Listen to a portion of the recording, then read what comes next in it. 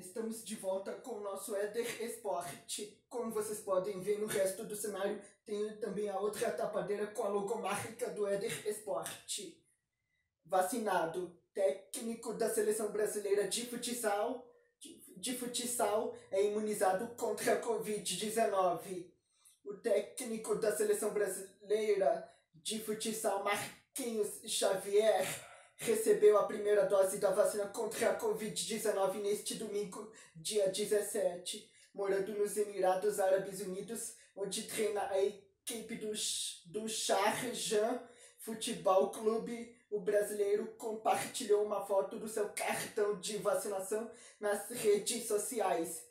Victor a Chelsea, a Chelsea e Carolina Marin vencem o aberto da Tailândia de badminton na cidade de Bangkok, capital da Tailândia, a Chelsea superou NG, NG Kalonkiangus, NG Kalonkiangus de Hong Kong de 2 a 0 com parciais de 21 a 14 e também de 21 a 14. Jamarim bateu Tai Jamarim bateu Tai bateu Tai Tzuink por 2 a 0, parciais de 21 a, de, de 21 a 9 e 21 a 16.